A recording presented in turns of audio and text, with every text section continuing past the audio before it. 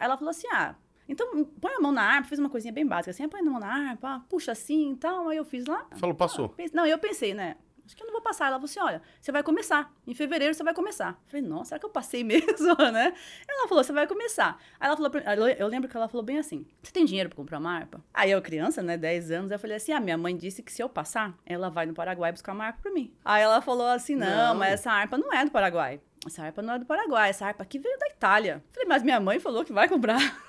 criança, né? E a sua mãe não tava junto? Não, minha mãe não tava junto. Entrou só eu pra fazer a prova, depois entrou a minha irmã. E, minha, inclusive, minha irmã passou também. Ela Entendi. passou, assim, as duas vão passar, porque as duas tocam a mesma coisa. Minha irmã era mais velha, minha irmã tinha 14, né? Entrei no curso de harpa. Falei, minha mãe vai comprar. Ela acreditou que a mãe ia comprar. Mais uma mulher e agora uma arpista. É isso mesmo. Ela toca harpa sinfônica e harpa celta.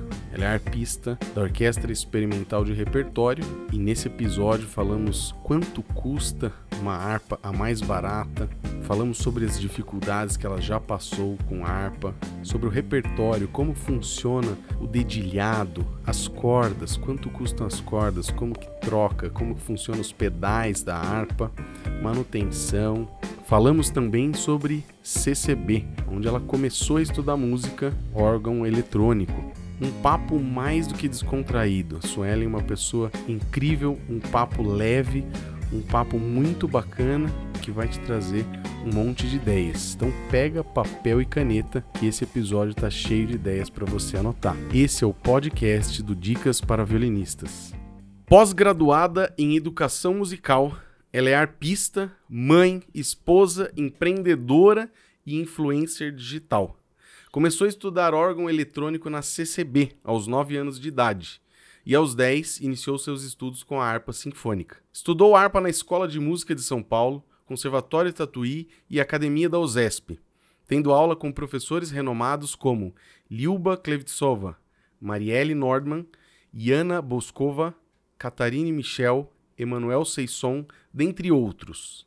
Frequentemente toca harpa como convidada em diversas orquestras brasileiras, tais como OSESP, Sinfônica do Estado de São Paulo, Sinfônica do Teatro Municipal de São Paulo, OSUSP, Orquestra Sinfônica da USP, Sinfônica de Minas Gerais, Sinfônica de Porto Alegre, Sinfônica de Belém do Pará e Filarmônica de Minas Gerais. Foi primeira harpa da Banda Sinfônica do Exército Brasileiro de 2003 a 2009, assumindo o cargo de terceiro sargento, e também na Banda Sinfônica do Estado de São Paulo de 2014 a 2016. Tocou também na orquestra do musical Cinderela, em turnê por São Paulo e Rio de Janeiro. Sinfônica de Santo André de 2005 a 2018 e atualmente ela é arpista monitora da Orquestra Experimental de Repertório do Teatro Municipal de São Paulo. Também é professora do Festival Música nas Montanhas em Poços de Caldas, Minas Gerais, e deu aulas também no Festival Munasp, e foi professora do curso de extensão em harpa sinfônica na USP e do curso Licenciatura em Harpa na Faculdade Mozartium de São Paulo. Desenvolveu durante a pandemia um curso de harpa celta online, proporcionando acesso a muitos alunos que até então tinham o sonho de aprender harpa, mas não sabiam por onde começar. Suelen Sampaio, que prazer ter você aqui. O prazer é todo meu, estou muito feliz de estar aqui. Ah, que legal. Suelen, vamos lá. Mais uma mulher aqui pro, pro podcast participando, né? É, eu não tenho nada contra a participação de mulheres, como eu já te falei, né? É, mas tem um pessoal que vem aqui às vezes comentar assim: ah, poxa, você não chama mulheres, né? Algumas feministas assim. E eu nem, nunca nem pensei nisso, né? Mas talvez a gente vá falar disso, talvez isso possa ser uma realidade, uma, uma dificuldade hoje em dia, né? Pode acontecer isso em orquestras ou no seu trabalho.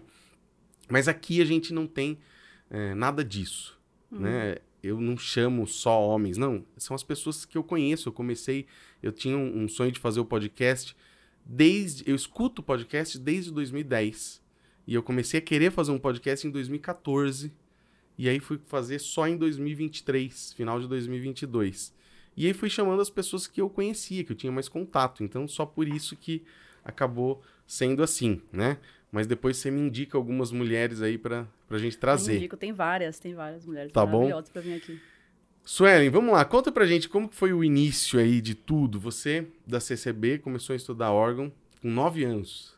Isso eu comecei na congregação cristã. Eu comecei com nove anos de idade, como toda. É, como todo músico da CCB, assim, né? Então eu comecei com uma professora particular de órgão eletrônico, então eu ia na casa dela, estudava órgão. E em um ano eu consegui fazer todo o, processo né, de estudo para começar a tocar na reunião de jovens, uhum. né? E, e, eu comecei, fui eu, a minha irmã também, né? A gente estava aprendendo órgão juntas. E aí comecei com 10 anos a tocar na orquestra da, da igreja, da congregação mesmo. E era maravilhoso, né? Porque a primeira, a primeira, o primeiro contato que eu tive com orquestra foi dentro da congregação. Inclusive, uhum. sou muito grata realmente a esse. É um projeto, né, que as igrejas têm, né? Sim. Muito grata mesmo por ter começado dentro da congregação, porque talvez se eu não tivesse tido essa oportunidade, eu não, não seria quem eu sou hoje. Uhum. Né? Então, eu, toda vez eu falo isso, sou Foi muito grata, realmente. Inicial. Eu, é, sim. Queria só pedir para quem está assistindo aí, deixe o seu like, seu comentário, se você está gostando do podcast, né? Muita gente assiste, depois já muda de vídeo, nem fala, a gente não fica sabendo se a pessoa está gostando ou não, que, se ela tinha alguma dúvida, se ela queria perguntar alguma coisa.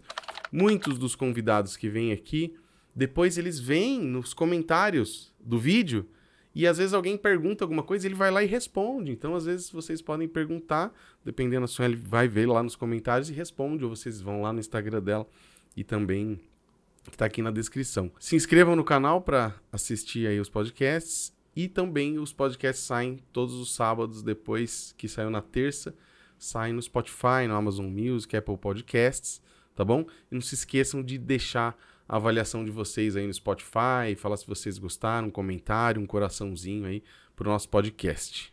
E, e aí, nisso que eu estava estudando na congregação, né? Então comecei a tocar na reunião de jovens, né? E aí minha mãe trabalhava num determinado local e aí um amigo dela falou assim: é, você sabia que existe a Escola Municipal de Música de São Paulo? Você fala sempre que suas filhas tocam né, na igreja, né? Por que você não vai lá matricular elas? Aí ela falou assim: ah, não sei, mas eu vou lá ver. E ela foi ver. Então a intenção no primeiro momento era que eu estudasse piano, porque do órgão, né, eu, eu iria para o piano.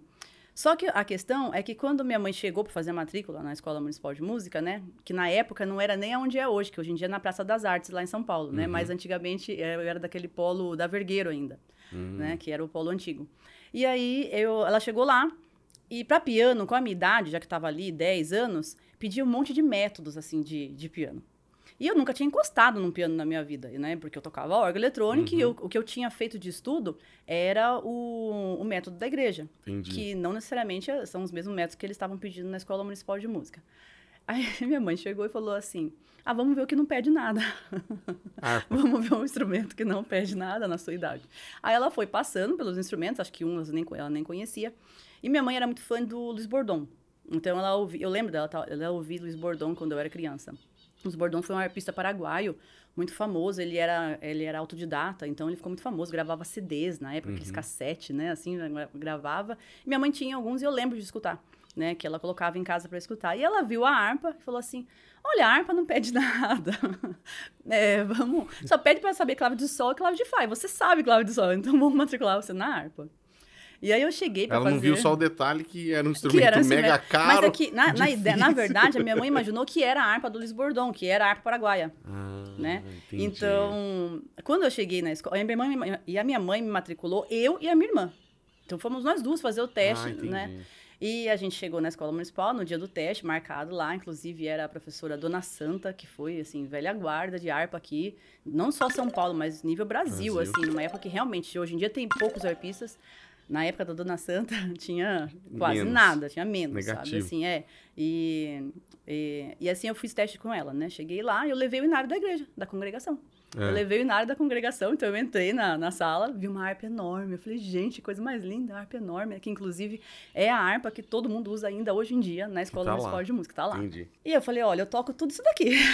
eu falei, eu toco todo esse inário aqui. Ela falou assim, ah, você toca esse inário na sua igreja? Eu falei, toco, eu toco no órgão eletrônico. Você tinha 10 eu tinha 10 anos. Mas eu, eu sempre fui muito grande, sabe? Assim, eu sempre fui meio alta, assim, uhum. então a minha altura não era, né, uma não parecia, pequena. né? É, e, a, e minha irmã também é alta, ela falou assim, é, você toca tudo isso aqui? Verdade mesmo? Você toca clave de sol e toca clave toca de fá? piano, deixa eu ver. É, então, e não, não tinha um piano, ah, só tinha, tinha harpa. Só tinha harpa no dia do teste.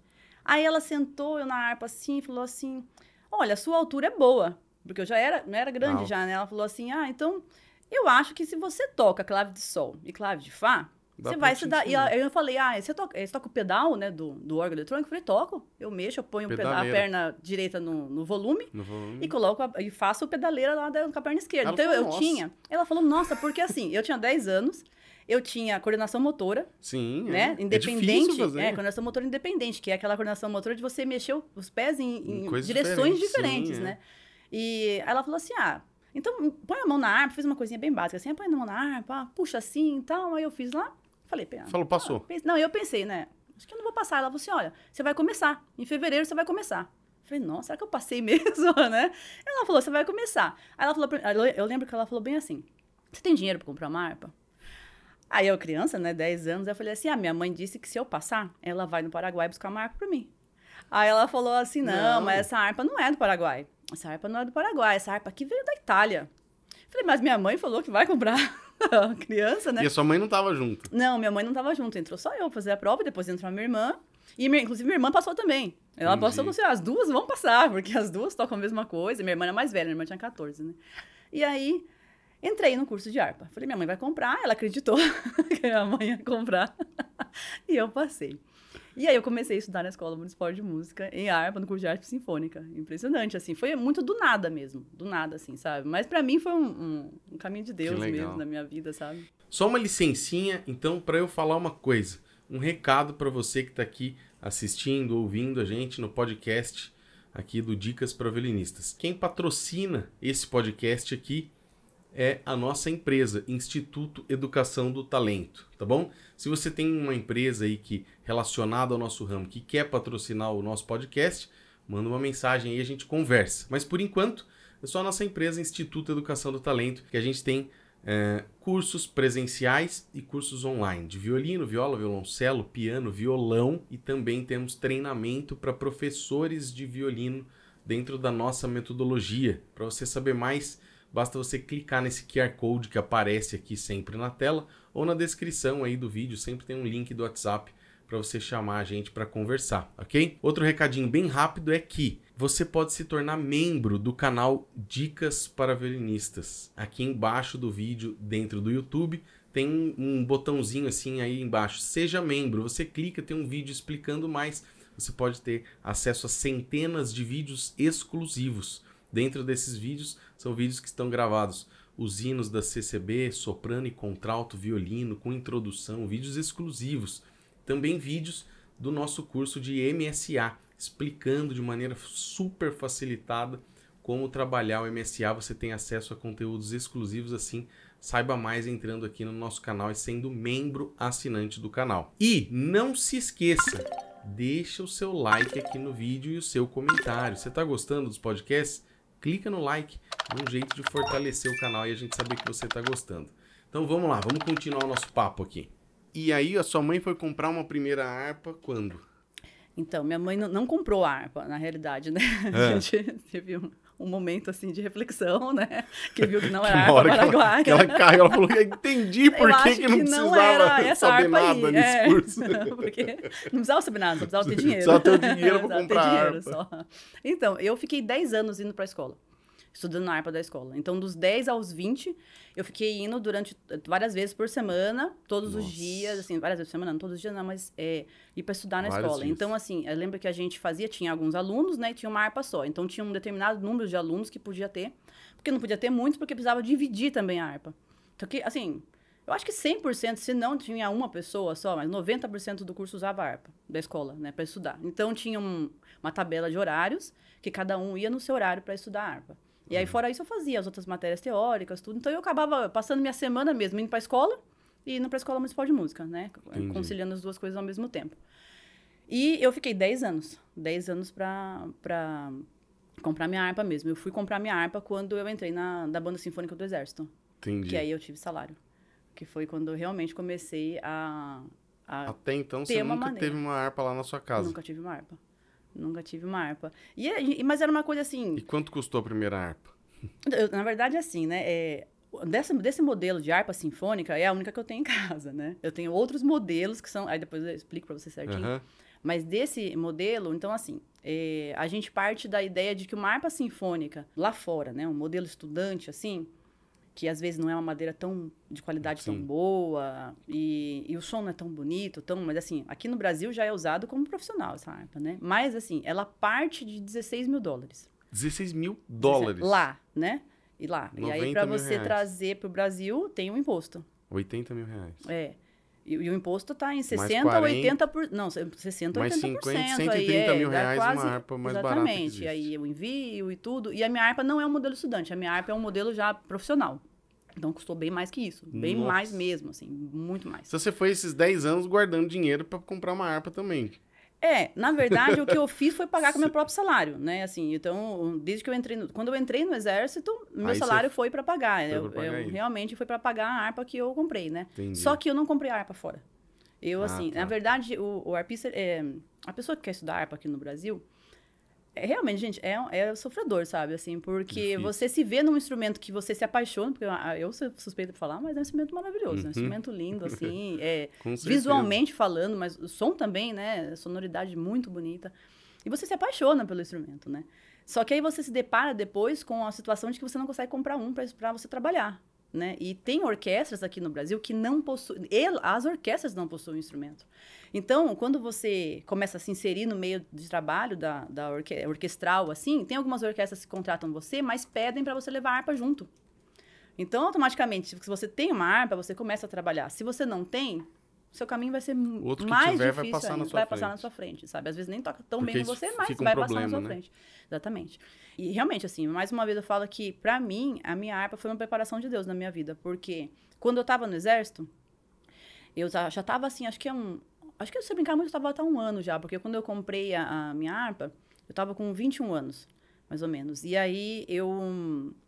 É, é, chegou um, um arpista e falou, ligou para mim e falou assim: Olha, Suelen, tudo bem, né? Ligou. Você, eu tenho uma aluna muito rica, canadense, que está morando aqui no Brasil. Ela corre com cavalos. E ela quer comprar um cavalo muito caro, de um milhão, assim. Ele falou um milhão, mas sei lá quanto que era o, o cavalo lá, né? E ela falou assim: ela tem uma harpa novinha. E ela tá vendendo essa harpa para comprar esse cavalo.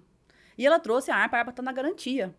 Então, assim, a mulher trouxe a harpa sem imposto. Ela entrou com a harpa no Brasil sem imposto. Já tava com ela. Exatamente, tava com ela. Ela falou assim, você ter uma... ele falou, pra você ter uma ideia, essa harpa arrebentou só uma corda, porque ela não sabe tocar. Ela fez umas aulas comigo, viu que não, que não quer, quer vender a harpa. Será que o exército não quer comprar a harpa? E aí fui eu ver a harpa. E aí fui eu ver a harpa. Então eu comprei essa harpa sem imposto, Entendi. sabe? Por isso que eu falo, foi assim, minha preparação de Deus na minha vida. Porque onde que você acha um instrumento na já, garantia, de fábrica ainda, Uhum. né? Que ela comprou essa harpa na Itália. Então, a, a marca da, da, da minha harpa é uma marca italiana. E ela comprou essa harpa, trouxe para o Brasil sem imposto. E quando ela me vendeu, ela vendeu pelo preço fechado, o preço de uma harpa nova, mas sem o imposto. Né? Então, assim, uma, uma, uma oportunidade única, assim, né, pra acontecer no Brasil. E você tem uma harpa só, você tem mais? Eu tenho mais harpas, Ah. mas é, sinfônica, só essa harpa sinfônica. Co- como que é então? Vamos. Existe a harpa sinfônica, E tem a harpa celta. a harpa celta. E Qual tem a harpa é? paraguaia também, que é Harpa aquela paraguaia. que, eu- que a gente acha que eu cheguei a Então a tocar. gente vai tentar pôr uma foto aí delas nesse momento aqui. Qual que é as diferenças entre essas harpas pra gente saber? Então, a harpa sinfônica, ela é a harpa que dá para tocar em orquestra. Né? Então, assim, se não for harpa sinfônica, você não tem como tocar na- essa harpa numa, numa orquestra. Então, a gente até chama de harpa sinfônica mesmo. Trabalhamos com orquestra sinfônica, a gente fala mesmo. Tem gente que fala harpa de concerto, Uhum. né? Mas é harpa sinfônica, né? Que tem pedais. E esses pedais, eles permitem que a gente faça é, a mudanças mesmo, as mudanças é, dos acidentes, as mudanças cromáticas, Hum, né? Tipo então o dá pra... Que tem aquele pedal que ele. É, tipo tímpano, mas o tímpano tem um pedal só. É. Eu vou fazer aqui a explicação. É assim. É, a harpa tem sete pedais, porque existem sete notas. Uhum. Do, ré, mi, fá, sol, lá, si. Então um pedal pra cada. Sete pedais, cada pedal é uma nota, né? Cada pedal tem três níveis. Cada Sustenido, nível natural. é um acidente. Então, o primeiro nível, bemol. Você, você aperta o pedal, segundo nível, B quadro. Você apertou de novo o pedal, terceiro nível, sustentável. Fácil, né? Pronto. Mega fácil. Toda vez que eu vou explicar isso, a pessoa fala, mas eu já me perdi. Só a já explicação perdi." já é, É. difícil de entender. Imagina assim, tocar. É, você tem um- a corda, né, que ela vem da cravelha até a caixa harmônica. Então ela vem direto ali. Na, entre a cravelha e a caixa harmônica tem umas, uns disquinhos. E esse disquinho ele vira. Na hora que você aperta o pedal, ele vira. Então, quando ele tá- o pedal Ah, tá solto, estica a corda solta? tá em bemol. Quando o pedal tá Entendi. solto, da cravelha até ali onde prende na caixa harmônica, tá bemol. Sustenido ela Pegou o estica. pedal do dó, né? Apertou um primeiro nível, ele, o disquinho vira. Então, ele não começa mais na cravelha. ele- a corda começa ali a partir daquele disquinho. Entendi. Dó B quadro. Apertou, vira um segundo disco. Tá? E aí, apertou mais uma. Não, apertou uma vez, vira sustenido. Então tem o primeiro que tá, a corda tá solta, Dó bemol, né? Tô falando no caso do pedal do Dó. E apertou, Dó B quadro, apertou, Dó sustenido. E assim com cada nota que tem um pedal. E aí é Mi, Entendi. Fá, Sol, Lá, Si, Dó, Ré. Né? Perna direita, perna esquerda. Não é nem em ordem ainda pra ajudar, né? Porque- Então, isso que eu acabei de pensar, eu falei, nossa, não é nem na ordem. Não é é nem na ordem, ainda porque como o mecanismo é é cruzado por baixo da harpa, né? Então não é nem na ordem. Então a perna direita fica com o pedal de Mi, Fá, Sol e Lá. E aqui Si, Do e Ré. Com o tempo você Entendi. decora e vai que vai. Porque a intenção é você não olhar. Então você faz a mudança de pedal sem olhar para a perna, né? Porque a harpa tá aqui, você Sim. não olha, né? Não olha mesmo. E, e você vai trabalhando aos poucos, né? Você vai mexendo primeiro a perna direita. Primeiro você faz pedal fixo, aprende a fazer tonalidades fixas, depois você vai mexendo Legal. só, apertando um pedal com a perna direita, e por aí você vai até criar a coordenação motora. E a harpa celta, qual que é? A harpa celta ela não possui pedal. Então a Ah. harpa celta, ela tem de vários tamanhos. Tem harpas pequenas. Eu, por exemplo, tenho uma harpa celta que eu ganhei de um luthier na pandemia, que foi a coisa mais linda do mundo, assim, ele enviou pra minha casa, assim, eu Que fiz, legal. realmente assim, eu fiz vídeos mostrando a harpa celta dele Tem porque bastante é, luthier mesmo que faz violino ou é só um luthier de harpa só? Não, luthier de harpa mesmo. Ah, de É, harpa. de harpa. Mas não tem muitos no Brasil, não. Não. E assim, o que realmente eu cheguei a experimentar de alguns luthiers, assim.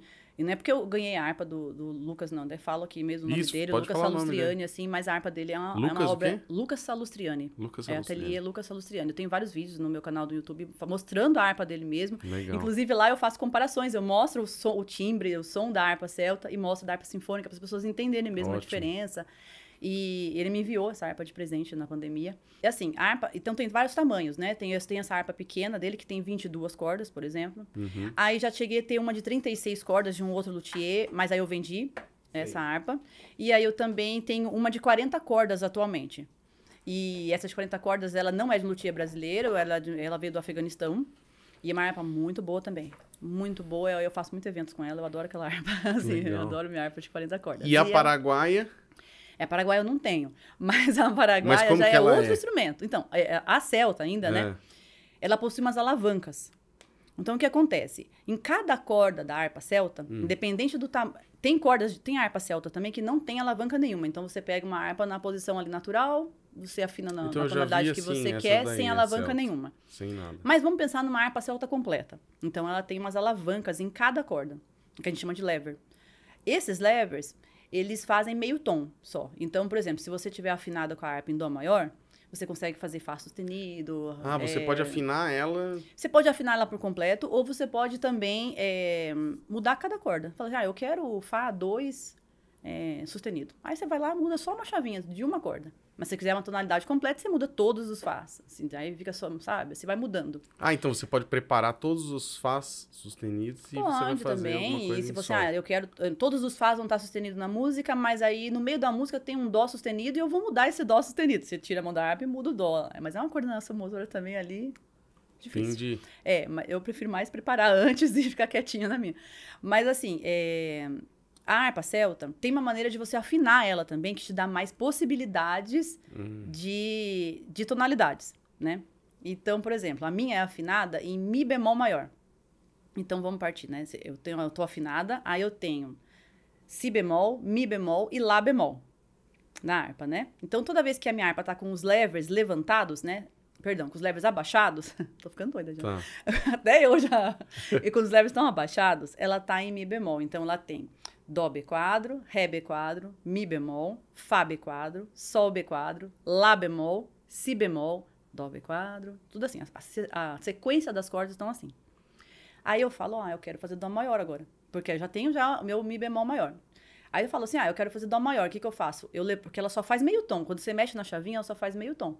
Aí eu levanto a, a chavinha, os levers de Si, Mi Lá. Eu tenho Dó maior. Porque eu levantei e fez meio tom. Se tá bemol, fica B quadro. Entendi. Caramba. E aí você vai fazendo isso. Então, do Dó maior, por exemplo, eu preparo em Dó maior. Aí eu, aper- eu levanto a alavanca do Fá, fica só o maior. Mas daí em Mi maior você tem que ler transportando. Você é isso? você eu afinou leio- ela pra tocar. Eu afinei ela ah, em Mi tá, bemol. entendi. Você Mi deixou. bemol maior. Então, assim, eu Ah, tenho tá. mais. Essa, essa afinação na harpa celta dá mais possibilidades de tonalidades pra você. Só que você tem que pensar que, que você não tá partindo do maior. Você tem que. É é um trabalho. Tanto que quando os Entendi. alunos chegam pra mim, eu não, não aconselho afinar em Mi bemol, porque realmente é um trabalho de, de pensamento sim maior. E a harpa ela afina em 440, 2 também? A harpa sinfônica 442 É. e a harpa celta 440. E dependendo da harpa celta que você tiver, você tem que tomar cuidado. De repente é bom até afinar 44 438. Pode Então, é, depende da harpa. Você tem que sentir segurança para afinar 440 uma harpa celta. Legal. Mas uma harpa celta boa, 440. E, e as cordas são do quê? As cordas da harpa sinfônica é, são de tripa. São de tripa. E aí, é, a região do meio eu uso tripa. A região aguda eu uso nylon.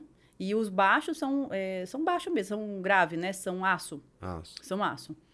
Da harpa celta, não. A harpa celta eu só uso nylon. Porque aí tripa tem uma tensão muito grande. Então, na harpa celta, se usar Hum. tripa, teria que ser uma tripa, fei uma corda de tripa feita para a harpa celta. Mas assim, eu até hoje. Não... Bom, tem algumas, alguns modelos de fábrica que são muito bons. e aí eu tem uso. tamanhos também de harpa. Tem, então. Isso. Aí depende do, da quantidade de menorzinhas. corda. Por exemplo, se você tem uma harpa de 22 cordas, ela vai ser menor, uma harpa de 40 é Ah, maior, tá. Uma harpa de é de 40 acordo com acordo quantidade de cordas. Isso, é, de acordo com a Entendi. quantidade de cordas. E a sua é de quantas cordas que você tem? Então, Celta eu tenho uma de 22, que aí fica é, tá, pra tocar no colo mesmo, pequenininha. Linda, maravilhosa aquela harpa, aquela É. pintada à mão, assim. Legal. Tenho essa que eu comprei, que tem 40 cordas, e tenho a sinfônica de 47. 47. E aí como que é o dedilhado ali? É, é clave de sol numa mão, clave de fá na outra? A o leitura agudo é- tá mais pra frente, pra trás? Como que tá É, lá? a leitura, assim, quando eu falo de partitura, a gente pode pensar na leitura do. Falando assim, né? Como se fosse. Né, do órgão, por exemplo, Aham. né? Piano. Então, clave de. A gente pensaria basicamente clave de sol na mão direita, clave de Fá na esquerda. É. Mas isso também não, não significa que você não pode transitar a mão direita ali na. Igual quando você tá tocando piano, você põe a mão aqui, Sim, põe a mão ali e cruza a mão. Tá. Então, isso não, não impede. Uhum. Mas basicamente, assim, falando, clave de sol, clave de Fá. Né? E a partitura da harpa, ela é escrita igual uma de piano? A clave de sol e a clave de fá? É, É é, igual de piano, jeito. isso. Mas é lembrando que é, as- muitas pessoas confundem, né? Às vezes a pessoa fala assim, ah, eu trouxe uma partitura de piano pra você tocar na harpa. Não dá, gente. Não dá. Não dá. O que Por é quê? de piano é de piano, o que é de harpa é de harpa. E, e o contrário também é, porque eu já vi, assim, pessoas tentando tocar partituras de harpa no piano e também não dá certo. Mas então, as figuras são as mesmas, não tem que, tipo, mesmas, percussão, que ele tem aqueles desenhos não, diferentes. é, é só a escrita musical mesmo, que não dá certo, sabe? Por conta de peso na mão, é, dedilhado, sabe? Assim, é totalmente diferente uma escrita de piano para uma escrita de harpa. A pessoa que sabe mesmo escrever para para harpa, ela ela, ela vai saber que não é para escrever para piano, sabe? Mas a gente chega, eu recebo muita partitura assim, principalmente de compositor mais é vivos, né? Compositores vivos ainda, É. é, escrito para piano. Porque assim, na hora que eu pego a partitura, eu falo, escreveu para piano. A altura sabe, é a assim. mesma do piano. É a mesma, é, A a, mesma do é a piano. mesma. A textura é a mesma, mas, mas tem que tomar esse cuidado, sabe? E eu também recebo muita partitura de, de pessoas que estão escrevendo pra harpa e falam, posso te mandar um e-mail? Aí pode, me manda um e-mail que eu testo na harpa, sabe? Eu ajudo, falo, ó, isso aqui não vai funcionar. Porque às vezes a pessoa pensa também, porque no piano é muito tranquilo você fazer isso, né? Dar um pulo aqui, sabe? Na harpa isso não é tão fácil, porque a harpa é um instrumento visual. Né? E você precisa realmente olhar para onde você está indo nas cordas, né? Porque eh, imagina se você tivesse as cordas são coloridas. As cordas vermelhas são pretas. Perdão. As cordas vermelhas são dó É. e as cordas pretas são fá. Então, nessa sequência, você vai vendo. Então, a corda vermelha, dó. Aí, ré, mi é transparente. Fá é preto. Sol, lá, si, transparente. Dó, vermelho. Então, você vai olhando ah, para então, a harpa tipo e você tecla vai se preta achando. e branca no piano pra... Isso, é. Na verdade, a Mais tecla preta seria o pedal. Ah, sim. É, né? porque você aí vai fazer, você vai fazer os sustenido, sustenidos lá no tá. pedal. Mas então, Entendi. a harpa é um instrumento visual. Então, para você fazer um salto na harpa, você tem que olhar para a harpa. Então, não é uma coisa assim tão.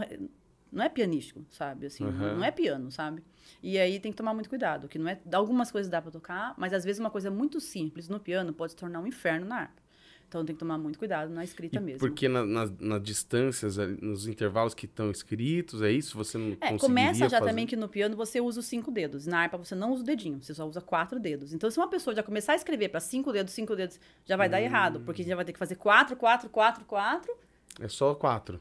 Usa. quatro dedos de cada mão. Então já começa na escrita ali do dedilhado. Se a pessoa já Entendi. for relevar, E é, uma, é, é um instrumento de corda considerado harpa? é instrumento de cordas.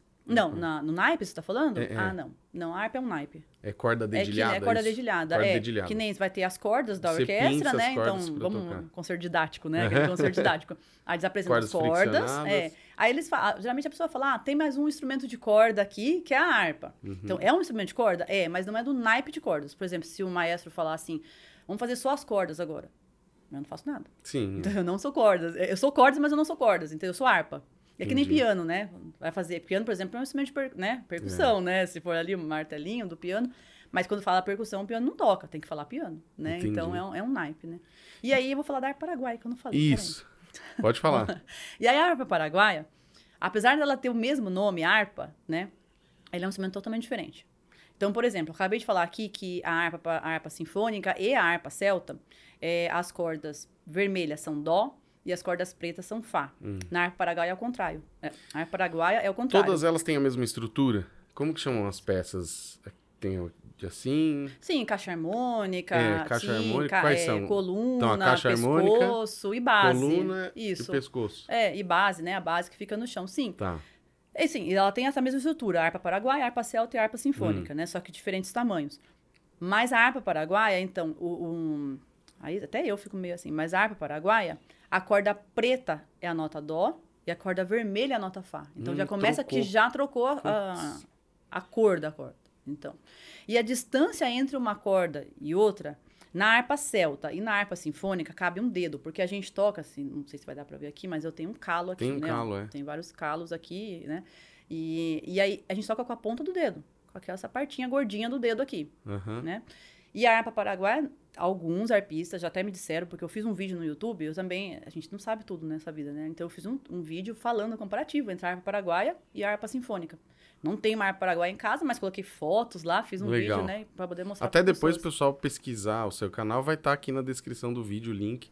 Só clicar já pra ir lá ver esses vídeos aí que ela tá falando. É, então, tem bastante vídeos. E aí, eh, nesse dia eu mostrei e falei, olha, a harpa paraguaia toca com a unha. Eles tocam com a unha, porque a distância entre uma corda e outra da harpa paraguaia é menor. E a é que cabe uma unha. E a distância entre uma corda e outra da harpa celta da harpa sinfônica cabe um dedo.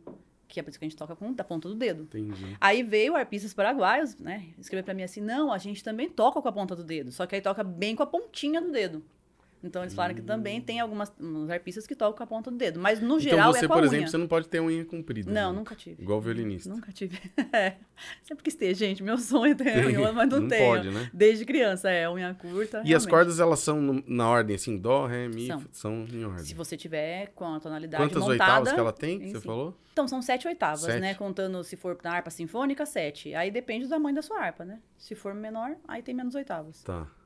E os pedais, você já falou, né? Uhum. Pra que serve? E todas elas têm sete ou tem alguma que tem menos ou Ah, mais? não. Aí o que tem pedal, tem sete pedais. Tem sete sempre, sete pedais coisa. sempre. Nossa, tá bom já, né? Legal. E quando pedais. você vai fazer cachê ah, nas orquestras, Sueli, o pessoal paga o cachê e mais um aluguel da harpa ou não? É, então. Pagou o aluguel da harpa, o meu marido que saiu de casa pra carregar a harpa. Isso, carregador. Vai tudo, vai tudo. O carro. Porque assim, além de você ter uma harpa, você tem, é, ou você paga carreto, né? Vamos começar da parte Isso, de transportar essa harpa. eu tava também, aqui pra né? perguntar, co- como que É. você transporta? Você transporta no seu carro Eu transporto normal? no meu carro. Mas assim, é um investimento. Porque além de você comprar uma harpa, como é que você vai sair com essa harpa de casa? Porque para começar aqui, tem homens tocando harpa, sim, tem homens tocando harpa, mas a maioria é mulher. E é um instrumento pesado, né? A- Pesa quanto, você sabe? A minha pesa 40 quilos, quase 40 Nossa. quilos, a sinfônica, né? A Celta minha, de 40, de a 40 altura cordas... dela é quanto, mais ou menos? 1,80 e- 1,78 ou 1,87, alguma coisa assim. É, é bem altura, grande. É, 1,78. bem grande a coluna, a coluna, é. Então, assim, é, quando você vai pensar como é que você vai atirar essa harpa de casa para levar para as orquestras, né? Se for pagar, um- se for pagar uma pessoa para transportar, vai custar um dinheiro, vai custar. é. E tem pessoas que fazem isso, tem algumas pessoas que umas empresas de transporte, Igual piano, de né? músico mesmo, é, de, de que transporta a harpa. Uhum. E aí, por muito tempo, quando eu era solteira, eu paguei. Eu paguei transporte, assim, paguei carreto, né? Uhum. Só que é, é, é complicado, porque ou você joga isso pra orquestra, ou você joga isso pro cachê. Porque alguém vai ter que pagar esse carreto. Não Uhum. pode sair do seu cachê e você trabalhar de graça, né? Porque você vai ter que levar essa harpa.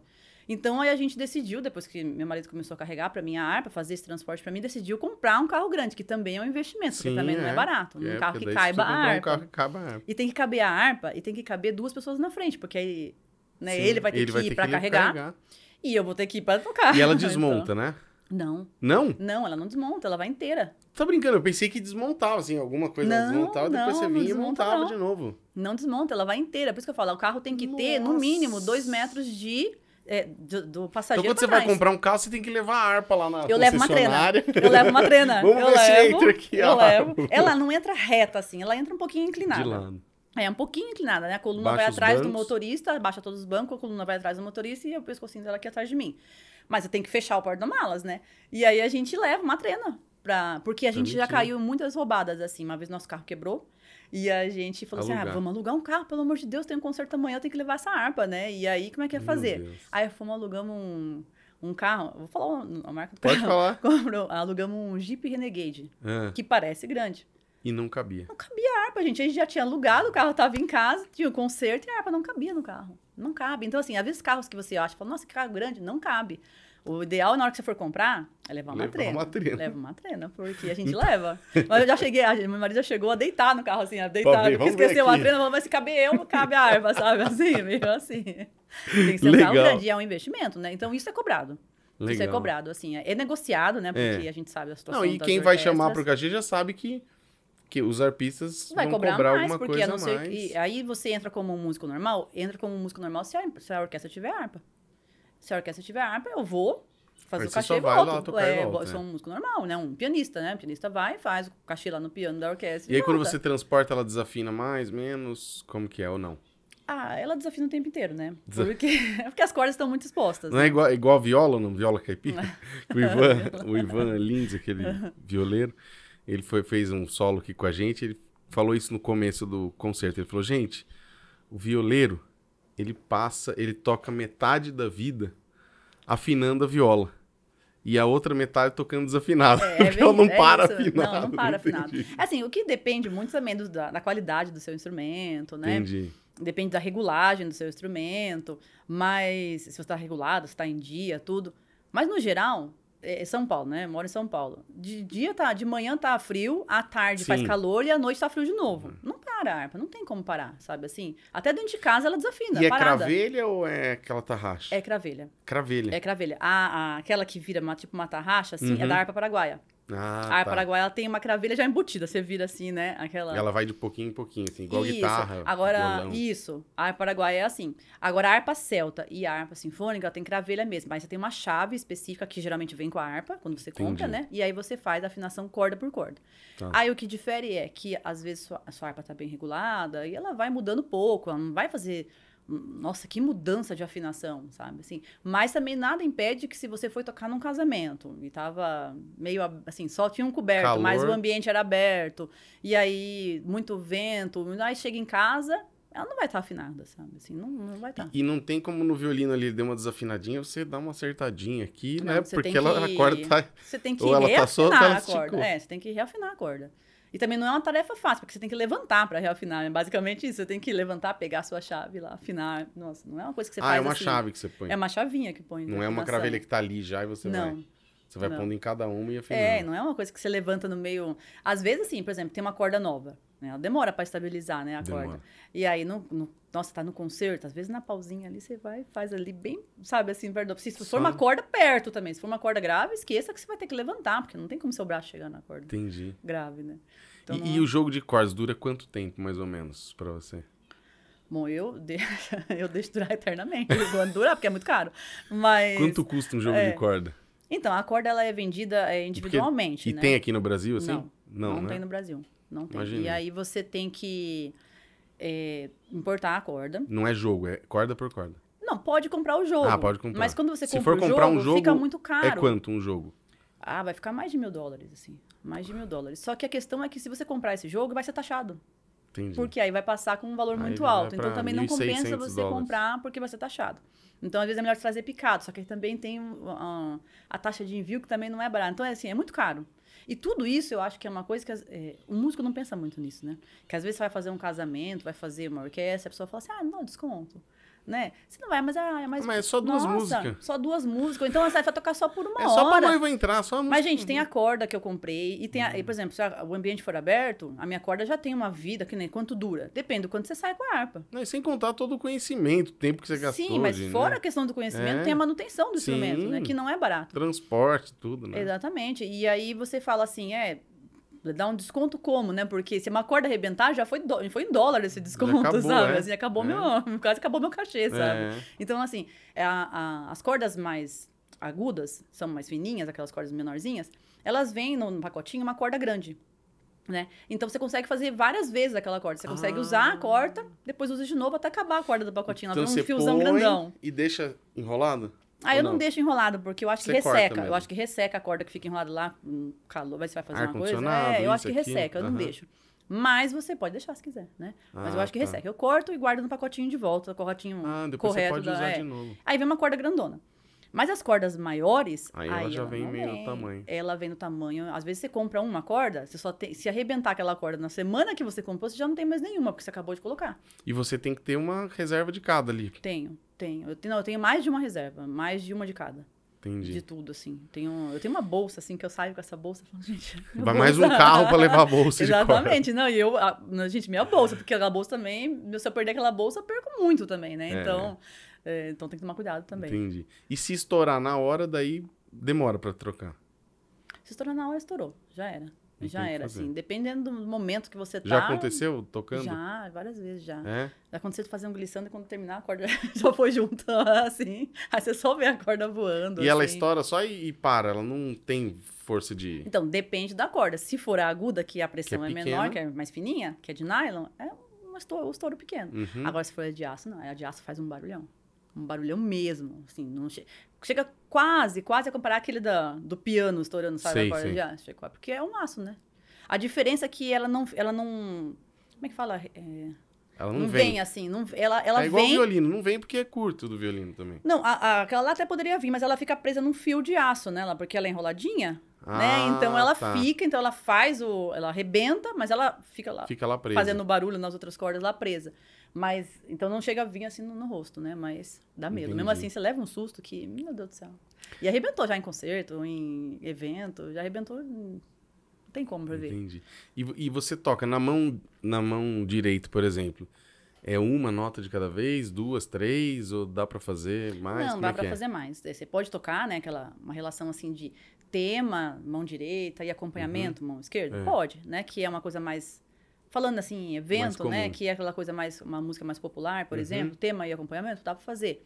Mas em questão de orquestra, a gente não faz muito tema, faz mais é, acordes, é, glissandos, e, e tem a questão de ser uma nota, duas, mas aí é, um, é, um, é um- uma escrita mais trabalhada, né? Então tem várias cordas, várias notas, poucas notas, aí é Entendi. variado, né? E, e nos cachês de casamento que você vai fazer? Daí você tem que ter a partitura. Ou você Então. se vira assim, você. É, eu, na verdade, assim, os casamentos pra mim, eles começaram. Eu comecei a, a engajar mesmo nos casamentos foi em 2016, É. né? Que foi quando eu fui demitida da banda do estado, né? De São Entendi. Paulo. Que na verdade eu fui demitida depois a banda acabou, né? Que acabou. A banda acabou mesmo, né? E, e você pode ter falado, né? Porque todo mundo Já sabe, foi, né? é, Já foi, já sim. acabou, foi, foi horrível, né? Foi uma foi. situação horrível que todos os músicos viveram. Péssimo. E eles começaram, a, a primeira demissão da banda, assim, foi eu e mais dois músicos, né? Foi a harpa e mais dois músicos. E, e até então, assim, é, eu trabalhava com orquestra. minha- Eu falava, trabalha com o quê? Eu trabalho em orquestra. Né? Então, banda sinfônica, orquestra sinfônica, tudo que eu fazia era orquestra. Então, eu pegava, de acordo com a minha agenda do que eu trabalhava na banda, eu, eu adequava outras orquestras. E o que aparecia de casamento para mim, as empresas chamavam já, né? Eu falava assim, ah, eu não tenho a data. Não tenho a data. Era um bico, né? E aí, quando eu fui demitida da banda sinfônica, eu lembro que é, meu filho tinha acabado de entrar na escola, assim, né? E aí eu falei, gente, agora a gente vai fazer como, né? Porque a gente precisa continuar trabalhando, né? E aí foi, tava em crise, né? Assim, as orquestras estavam numa crise muito grande. Então não O chamavam país nem. estava em 2016, Então, e aí as orquestras crise. não chamavam nem pra fazer segunda harpa. Assim, não chamava, porque não tinha cachê, não tinha dinheiro, não tinha dinheiro para chamar. Então, assim, além de eu ficar desempregado, também não tinha cachê de Entendi. orquestra. Sabe, as orquestras estavam cortando tudo. E teve o desmonte da, orque da banda, né? E aí eu peguei e falei assim, não, preciso aceitar casamento. Preciso aceitar casamento. E os casamentos... Os casamentos, eles aconteciam ainda, né? Porque, por mais que o país esteja em crise, os, os sim. milionários não estão em crise. Não, Milionário não, não tem crise, né? não. E, e se você pegar mesmo, realmente, empresas que pegam esses, esses clientes muito grandes, né? Aham. Eles contratam a harpa mesmo, porque eles querem alguma Ostentar, coisa... fica bonito, Eles querem ostentar, leva para um outro querem uma nível, coisa né, o evento. diferente, né? Sim. Não que os outros instrumentos não sejam também Não, assim, mas, mas chama eles querem uma atenção. coisa que eles não tiveram ainda. O que, que eles não Sim. tiveram? Ah, eu não tive uma harpa dentro da minha casa. Vai ser diferente. é, Exatamente, exato. sabe? Assim, então... Aí Isso é uma nisso- coisa boa, porque né, agrega um valor para o seu instrumento, É. para sua profissão, para você, né? E aí eu comecei a tornar o evento meu primeiro ganha-pão ao invés das orquestras, né? E aí foi então que eu comecei a investir, porque aí o que acontecia? Eu fazia com o que a orquestra me dava ali de... Eu, eu sempre li partitura de, de piano ali, né? Então eu falei, ah, eu sempre lia uma pasta ali, pronto, acompanhava. Mas aí em 2016, não. Em 2016 eu falei, não, agora isso aqui vai ser o que eu vou fazer. Então eu preciso dar uma, dar, dar um, dar umas opção, uma- dar uma opção também para as pessoas que estão me contratando. O que, que eu fiz? Eu montei um iPad, né? Comprei um iPad lá, inclusive até hoje eu uso o meu iPad. Tô na hora de ganhar. Alguém quiser me dar um iPad? eu tô com o iPad Manda 2 uma ainda. mensagem. Me manda uma mensagem aqui. Você lê bem no iPad. Tem que ser iPad, né? Não É. pode ser um tablet, Não, é não, iPad. tem que ser iPad. e aí, eu, o que, que eu fiz? Eu peguei partituras de piano, de música popular, E você foi fazendo. e eu fiz o arranjo pra harpa. Ah, E aí eu comecei, eu não trabalhava bem com cifra, não lia bem cifra, mas eu falei, eu precisava, pelo, pelo menos o básico da cifra eu preciso ler. Você começou E aí eu comecei a me forçar a ler, porque a gente sabe, né? A gente sabe um pouco de cifra, mas a gente é preguiçoso, né? É. Assim, né? E falou assim, ah, não, vou ler o que a orquestra tá me mandando. Isso. E aí a gente não tá acostumado a ler cifra. Eu falei, não, vou me forçar a ler Entendi. cifra. Aí eu comecei a fazer arranjo de músicas do Roberto Carlos, música da Disney, música tava tocando no rádio, música pop. Que legal. Comecei por quê? Porque eu falei, isso, eu, eu vou oferecer isso para as pessoas, e vai ser um diferencial, porque também não era, até eu mesmo como arpista, eu sabia que eu não oferecia isso. Então Uhum. também, né, ia ser um diferencial eu oferecer uma coisa mais popular, que as pessoas conheçam mais, num instrumento que é mais clássico. Entendi. E aí eu montei esse repertório de uma hora para começar assim, eu falei, vou montar um repertório de uma hora para fazer recepção. E aí eu comecei a oferecer também, eu sempre tive muitos vestidos, muita coisa, sempre fui muito apaixonada por vestido assim, comecei a oferecer opções de roupas também. Eu falei, ah, se você quiser contratar, quer que vá de preto ou quer que eu mande opções de vestidos?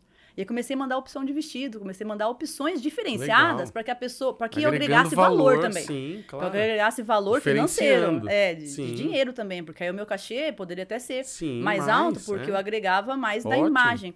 E uma coisa que eu acho que é muito legal o músico pensar também é que às vezes o músico pensa que só você tocar bem, eu, eu entendo isso assim, eu, realmente, claro, é você tocar bem um repertório clássico, claro, precisa, né? Mas não determina. Não determina o seu ganho mensal. Isso não vai determinar seu ganho mensal. Sim. Porque, assim, às vezes é, você vai tocar. Eu posso tocar o concerto de Mozart num evento, ninguém vai bater, ninguém vai nem sabe bater palma lá, porque ninguém sabe o que é isso. Pode até saber, mas quando ele estiver na Sala São Paulo, num teatro, num evento, ninguém vai nem ouvir, o que você está se matando, ninguém vai nem ouvir. Porque eles querem. Toca o Roberto. Carlos pra você ver. Gente, nossa, o pessoal canta junto, sabe? Passa É. te filma. Então, comecei a desenvolver um trabalho. Primeiro, do, do Instagram, né? E Legal. aí fui pro YouTube. Também comecei a ir pro YouTube colocando aula, porque. Pra ser vista mesmo, né? Aquela Aham. bem coisa, quem não é visto não é lembrado. Então, fui Sim, bem nesse, nesse quesito mesmo. E comecei a oferecer um diferencial. Então, quando as empresas entravam. Aí comecei só com empresa mesmo, né? Comecei a oferecer para as empresas de eventos mesmo, de casa. recepção empresa, né? De casa corais, assim.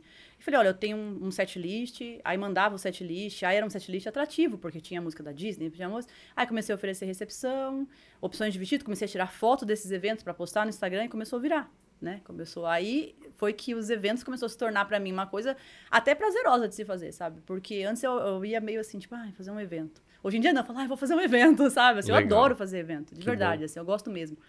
Principalmente quando é recepção de convidados, assim, que você faz sozinho, você fica livre, sabe, Pra tocar mesmo, sabe? É Sim. muito gostoso. Não, e deve ser legal porque esse instrumento chama atenção. Todo mundo quer ir ali tirar uma foto, todo mundo quer filmar. Aham, é, todo mundo quer, né? é. Quer ver, né? E quanto mais as pessoas te marcam no Instagram, mais pessoas te veem, Sim, mais trabalho não, você tem. é ótimo. Mais trabalho você tem. Que legal.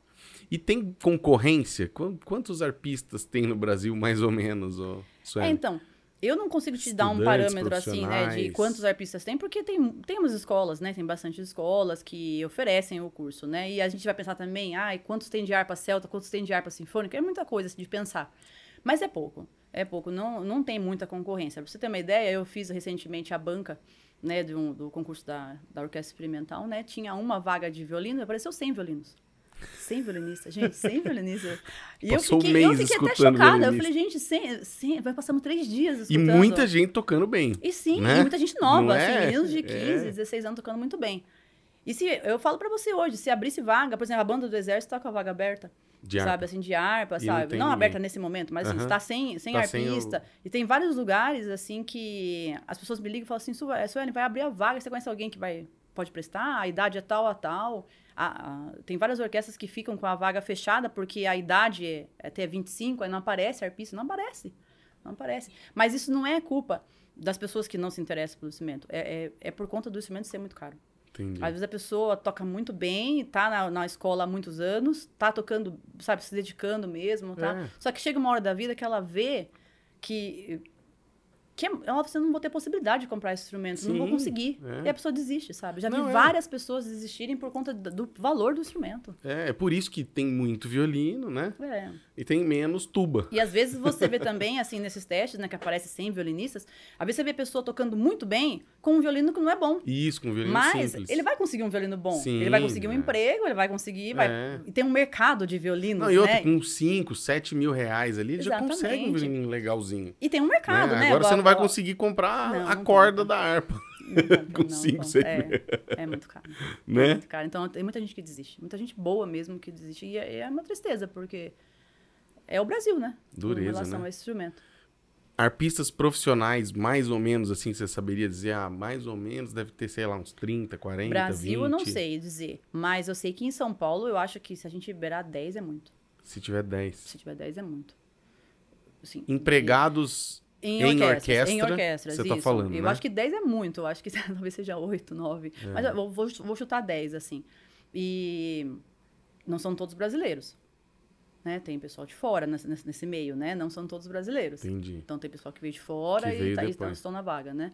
Então, A USESP tem tem um, é, dois arpistas? Quantos? tem? uma arpista só, que é a Lyuba Klevtsova, que é russa. Ah, tá. É, foi minha professora durante anos. Entendi. Então, quando tem segunda harpa, eles contratam segunda harpa para fazer o cachê também. Então, muitas orquestras também tem uma vaga de harpa, e aí quando você entra na vaga, Acabou, gente, né? acabou a vaga, né? Porque a pessoa vai ficar lá Vai até. ficar até o. Então, é meio complicado também Liuba ter mesmo vaga. tem quantos anos? Ah, aqui no Brasil tá mais de 20 já, eu acho. Ela veio pra orquestra, da, ela, Ela veio veio pra. USESP, então tá mais de 20 já, é. Por aí, então. Eu mesmo tô há mais de 5 já na experimental, então assim, você fica na vaga, né? Você fica na vaga, assim. E, e- e valores, então, hoje, se eu for começar e falar, não, eu quero comprar uma harpa aqui no Brasil, quem tem aí pra vender aí uma harpa?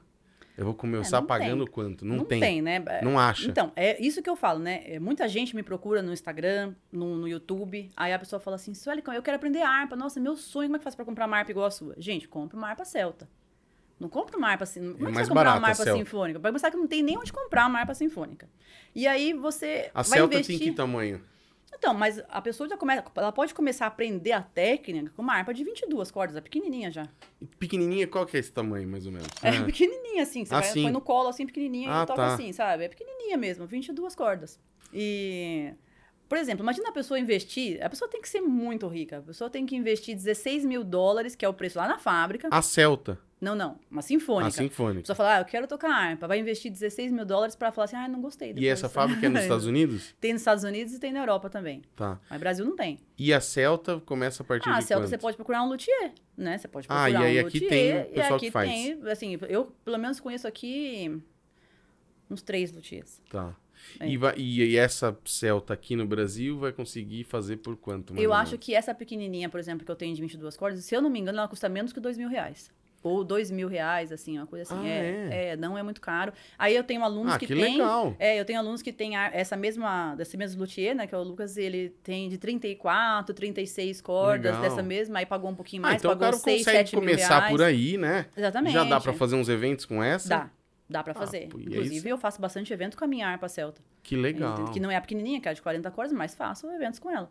Então... Aí outra, você pode, você já pode falar, ó, eu tenho essa daqui custa tanto e essa daqui. Exatamente. Você agrega e, assim, valor. E pra, e pra começar, né? Porque é, a harpa é um instrumento complexo. Como é que você vai investir quase 20 mil dólares pra você chegar e falar assim, gente, não, tem, não consigo, não consigo tocar esse instrumento. Porque é um instrumento que você tem que parar e ver. Falar, será que eu vou, será que eu quero mesmo? Porque demanda É. tempo. Demanda dedicação mesmo. É um instrumento que tem muita coordenação motora, sabe? Então, assim, gente, compra uma harpa celta. E tem bastante professor no Brasil?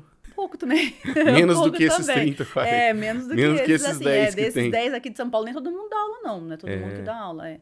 Eu mesmo dou aula para alguns alunos, mas assim, eu não tenho muita vaga também, porque eu já faço a orquestra, faço eventos. Legal. Aí eu tenho pouquíssimos alunos. E agora, quem quiser começar a aprender a harpa celta, pode entrar no seu curso online, né? Fala pra gente como é que é o seu curso online e ah, a diferença só pra só, né?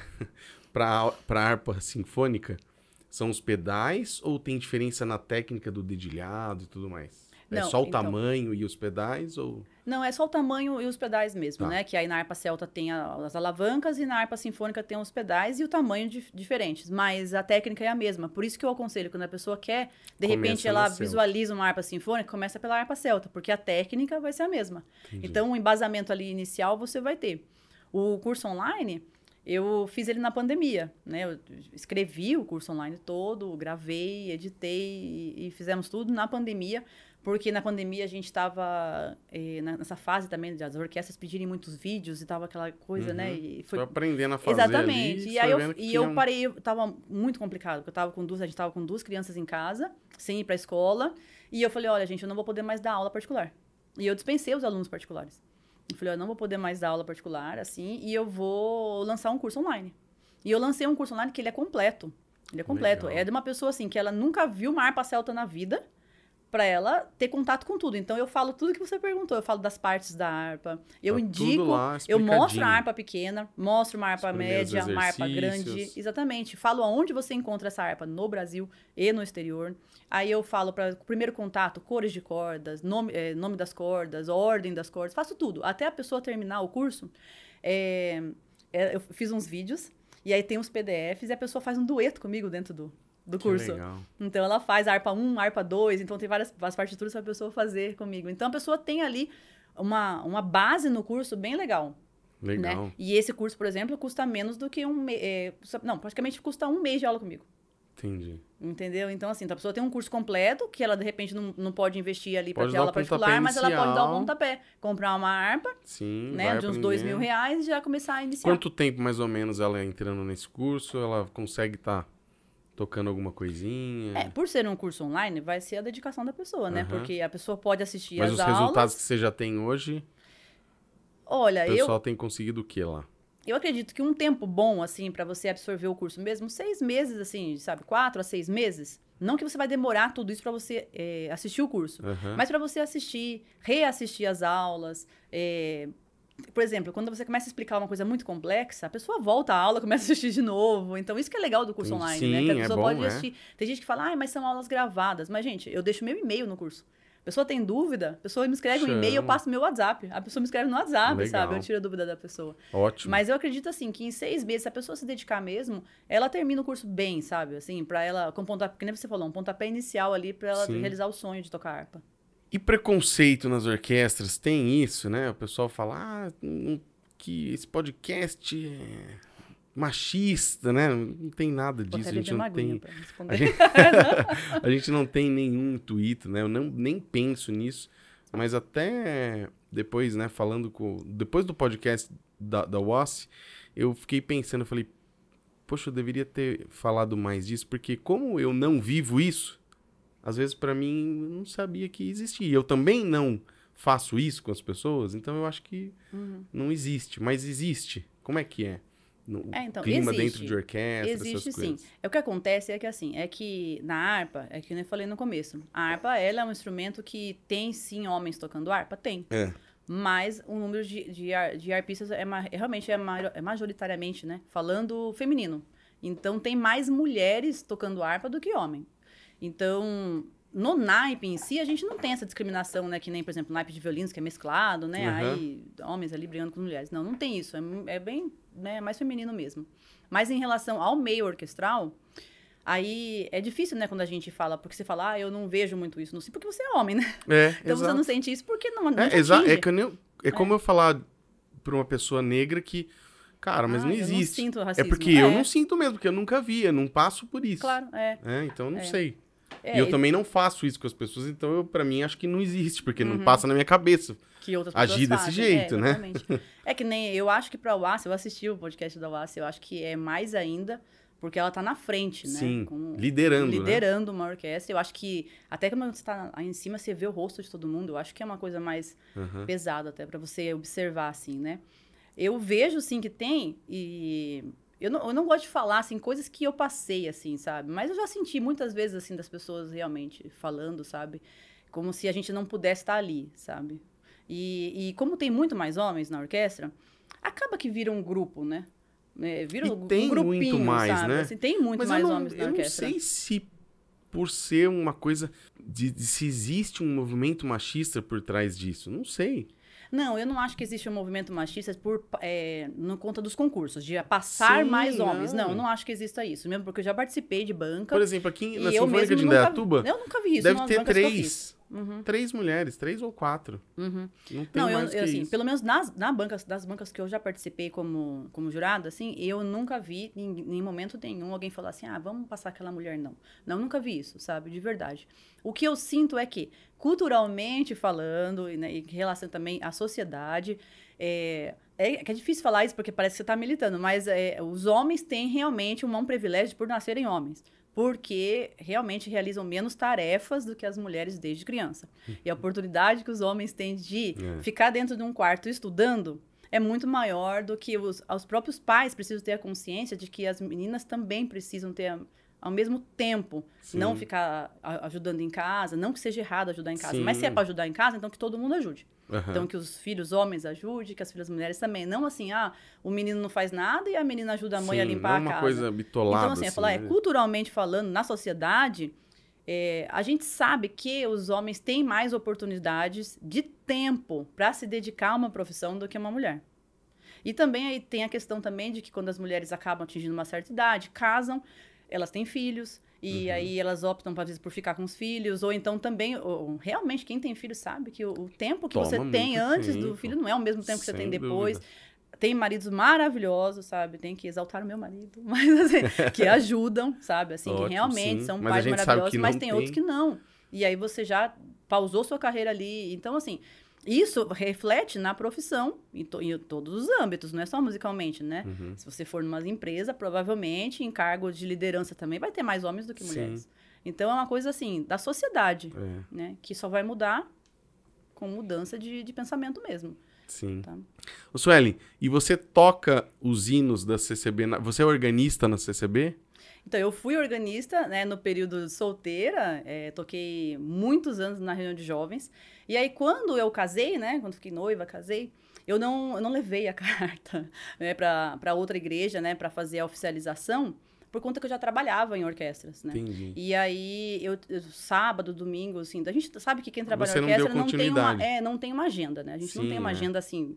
E aí, o órgão na, na congregação, a gente sabe que se você não vai no seu dia, arruma uma Tem uma encrenca e o órgão fica fechado. É uma Sim. responsabilidade, né? Mas, assim, nessa parte, os músicos da congregação têm ali um certo. Né, o músico de violino, ele vai, aí às vezes ele não vai, mas Sim. não fica. Nosso instrumento dele não fica ali em cima. não. A organista não, isso é o dia É. dela, né? E aí, como eu não podia mais manter essa responsabilidade, que eu queria manter, claro, com certeza, se eu tivesse com ela, correta, né? Daí você não aí deu. eu não levei a carta. E Ah, aí, entendi. e aí continuei com a minha carreira mesmo, sem, né? E aí eu vou na congregação e, e aprecio todo mundo tocando lá. Sim, mas você não toca mais. Não toco mais.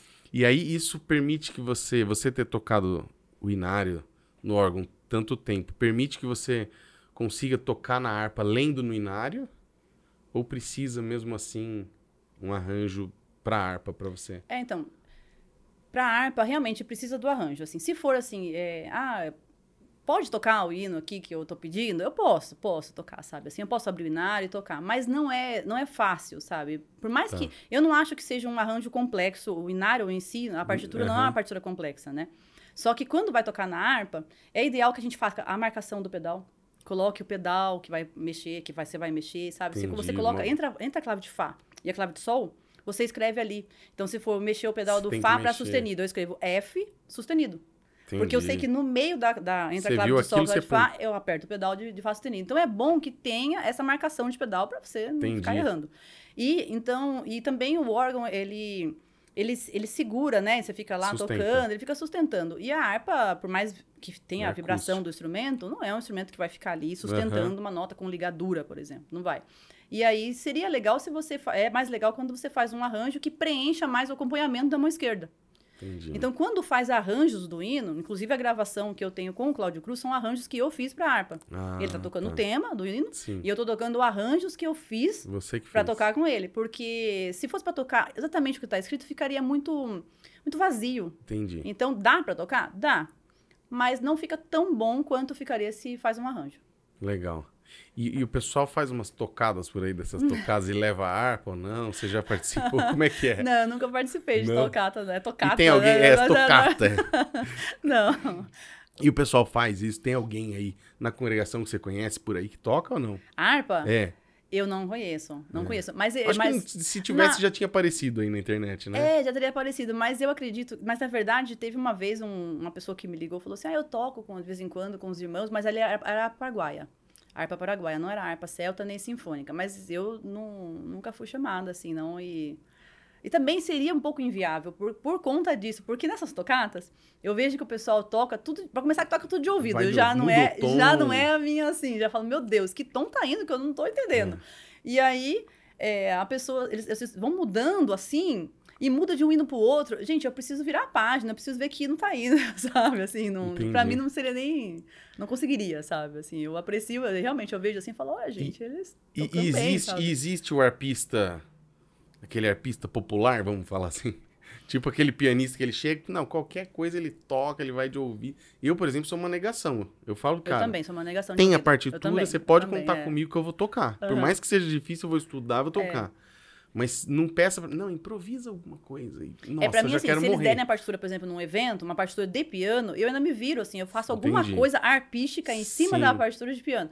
Mas aí fala assim, ah, não vai ter partitura nenhuma, eu falo, então vamos embora, gente, porque eu não vou fazer Não vou nada, entendeu? Eu não vou fazer nada. Entendi. Então, realmente, eu também Mas preciso de existe o, partitura. o arpista popular aí que Então, ele vai tem, inventando tem e uns fazendo. artistas né? que eles são. é, eles, assim, eles permeiam pelo lado do jazz também, sabe? Ah. Assim, que aí realmente é um estudo separado, né? Aqui no Brasil, a gente tem uma referência chamada Cristina Braga. A Cristina Braga, ela é uma arpista que trabalha a música popular brasileira na harpa. Inclusive, ela fez um Que concerto legal. recentemente com a Jazz Sinfônica. E, e ela realmente tem, assim, um trabalho de música popular. Então, ela toca chorinho, ela toca, sabe? Assim, ela tem uma especialidade, mas ela também toca em orquestra. Eu acho que Aham. ela começou com orquestra e depois foi pra Entendi. essa parte. Mas é um estudo separado, né? É uma coisa Tá. separada, não é? Você tem que parar pra fazer isso, estudar, né? Entendi. E tem alguma história engraçada, alguma coisa que aconteceu alguma vez com a harpa, com você? Ou alguém que confundiu o que, que era o instrumento? Tem alguma coisa assim pra você contar Ai, nossa, já, nossa, já foi tanta coisa já. Ah, Já foi muito assim, desde os perrengues de levar instrumento, assim, que o carro, né, às vezes não cabe, a gente já quebrou alguma vez a sua harpa? Não, quebrar não. Graças a Deus. Se, se cair, Quebrar- quebra mas o já braço. caiu. O- É braço que chama, Já não? caiu uma vez, né? Já uma vez eu tava. Então, esses negócios, de- isso de você contratar pessoas para carregar, nem sempre a pessoa é uma pessoa que Ai, vai saber Deus o valor estimado ali do Sim. seu instrumento, né? Então, eu já cheguei assim, a pessoa pegar e a pessoa não aguentar a base e, e derrubar no chão, sabe? Assim, dentro da própria van ali mesmo, mas, poxa, derrubou, sabe? Assim, tem uns perrengues assim de transporte. A gente mesmo já colo- colocou, já eu e minha marido já colocamos a harpa também dentro de um fiestinha, assim, sabe? Pequenininho, arrancou o banco, arrancou o banco. eu Arrancou fui o atrás banco. deitada com a harpa, porque assim, já fizemos de um tudo, sabe? já derrubou, assim, essas partes assim que você fala, meu Deus, quebrou meu instrumento, só pode ser. E aí você vai ver, graças a Deus, sabe, assim, porque é, é uns perrengues assim. Por isso que eu falo, às vezes vale mais você investir e cobrar por isso, mas você fazer tudo sozinho, Sim. né? Do que você às vezes ficar chamando pessoas pra te dar uma ajudinha ali, pra fazer, né? Do que Entendi. E, e coisas engraçadas, assim, eu já vi de tudo, Que- assim, no meio orquestral, né? É. Já vi músico brigando com músico, eu já briguei com músico, já vi mais caindo, já vi, já vi de tudo, assim, já. meio orquestral é tenso, né? Meio orquestral A- já vi de tudo, assim. Ainda bem que você não tava com a harpa no. Quem que foi que me falou? Foi alguém aqui do podcast que contou essa história que foi tocar, não sei em que orquestra aí, não sei se foi Piracicaba, Rio Claro, e o palco caiu. Misericórdia, gente com a Municipal de São Paulo. Acho que foi o Raif É? que falou, se não me engano. Nossa. Raif do violoncelo. Caiu e a parte de trás, onde estava perto do couro, assim, que eu acho que geralmente é onde fica. É, Ah. é, a harpa fica ali entre primeiro Se e segundo. cai e o né, pau ali, era é. uma inauguração, não sei do que, e brá, desabou tudo, gente se machucou. É, desses perrengues, assim, por exemplo, de eventos, por exemplo, né? Que é, é mais, é mais fácil você passar um perrengue no evento do que num- numa orquestra. A orquestra já tá mais ali, né? Estabilizada Uhum. num teatro, tudo, mas... Mas também tem, quando a orquestra sai pra tocar fora também, aí tem uns palcos que, né? Que, pelo amor de Deus. Mas, assim, eventos, por exemplo. Aí, se eu tô sozinha, então eu sempre realmente tenho que estar com alguém que possa fazer a remoção do meu instrumento se começar uma chuva. Nossa, é Então, verdade. e eu não consigo carregar o instrumento. Então, assim, não é uma coisa que vai ser fácil de eu. Eu posso até colocar, eu tenho um carrinho de transporte, que também é da fábrica, né, de, de harpa, que ele é Que de põe. harpa. Você põe, mas até pra você colocar o carro e pegar o carrinho, Não, e colocar o carrinho e a chuva- chuva já, já foi, É. lavou o seu instrumento, né? Então, assim, tudo tem que ter uma preparação já pensando no futuro, sabe? Sim. E já pegamos já, E casamento na hora que, que, pega um começou a chover casamento, do nada. você Teve tem um que ter um casamento contrato já falando, ó, não vou ficar em tal Exatamente, lugar, lugar aberto. Quando eu tinha e já teve a casamento assim isso. que eu nem vi que tava pingando, começando a pingar chuva, e meu marido tirando a árvore. Falei, o que tá acontecendo? Tá, tá chovendo, eu não tava nem Nossa, vendo, já sabe? aconteceu isso assim. com a gente com um par de tímpanos de 30, Então. 40 mil reais. Então, E eu falei, não vamos por aí, vai chover. E dito e é, feito. então, é. E Saí correndo, correndo disso, com né? o tímpano. É, e não é fácil correr com, né, com uma harpa com tímpano. Nossa. E ela É. tem uma rodinha nela ou não? Que você pode erguer e empurrar? Ou ela é fixa sempre? Não, ela tem uma rodinha, mas é bem básico, assim. É É uma só rodinha pra só pra você direcionar ali, ali. em, piso plano, limpinho, sabe? Aquela coisa de teatro mesmo. Você levanta um pouquinho e puxa, puxa, sabe? Não é nada muito Entendi. pra sair na... E o repertório de harpa? É grande, não? É grande, mas não chega a ser igual ao repertório de piano, por exemplo, né? Uhum. Não, não, não chega a ser. Por quê? Por conta também de que a harpa, assim, no caso da harpa sinfônica, por exemplo, começou ela é no de século XVIII. Isso. Então, é do século XVIII pra cá. Então, não tem muito repertório, ao mesmo tempo que tem um repertório ali, né? Mas não é igual ao piano. Não se compara, Entendi. sabe? Não se compara. E tem peças ah, que tem harpa, mas a orquestra faz sem. Nossa, gente, tem. e tem, já vi orquestra também colocando piano no lugar da harpa. E fica feio, gente. Não façam isso, me contratem. piano tal, digital. Me, me E chamem. piano digital, piano vezes. digital, com som de harpa, né? Então, assim, fica feio, gente. Mais barato, Realmente, né? é, fecha, me liga, né? Me liga, por favor, sabe? A gente faz um Isso. acordo, faz um cachê ali que dê certo pros dois, pras duas partes. Vai agregar porque- valor pro concerto, É, né? né? Vai ficar bonita. A harpa é bonita também, É. gente. Então, assim, é, eu recebo às vezes umas coisas, né, assim, do pessoal. Eu, eu sou muito. Eu dou risada, muito, muito risada, assim, né? E o pessoal me manda as coisas, Dá né? uma manda olhada os memes, né? Manda os memes, assim, pra mim. E tem realmente, mas fica feio, né? Entendi. E é melhor, às vezes, fazer sem harpa do que colocar um instrumento substituindo. Então, Né? Ele já começa por aí. E também porque tem coisas para harpa que estão escrito errado. Que o compositor escreveu errado. E já Hum. se estabilizou que na harpa vai tocar de determinada maneira. E como é que um pianista vai saber disso? entendi. O pianista não vai saber disso. sabe. Coitado, vai tentar tocar do jeito que tá escrito. E não vai dar nem certo para ele, nem, nem para ninguém. Vai Porque o horrível. pianista, se ele pegar a parte da harpa que você falou que é diferente, ele consegue tocar. É, ele pode até tocar, mas Mas tem É, esses, essas coisas exatamente. ele não eu, eu- eu recebi esses dias um vídeo assim. De de eu dó mesmo, assim, sabe? Colocar um piano no lugar da harpa, assim, de uma tudo errado, orquestra, né? uma determinada orquestra. Nem sei que orquestra é, gente. Não vou nem falar eu nem sei que orquestra é. Mas eu recebi, assim, da, da cadência da Volta das Flores, assim, ficou feio, ficou feio, sabe? Então, a gente, contrata uma harpa, ou então nem faz o programa. Nem faz a peça que tem harpa, que é melhor. E, por exemplo, a Valsa das Flores, ela tá escrita de um jeito, todo arpista toca de outro. E a gente sabe que é pra tocar de outro, porque já aprendeu assim, a Entendi. professor passou de professor, passou pro aluno, passou que passou, a gente sabe como é que toca a Valsa das. Flores. E aí você põe um piano tocando, que o coitado nem sabe como é que é, entendeu? Então tem Entendi. que tomar muito cuidado com isso. Sueli, e quando você vai, por exemplo, num evento, né? Ou na orquestra, eu acho que talvez não, não aconteça, não sei.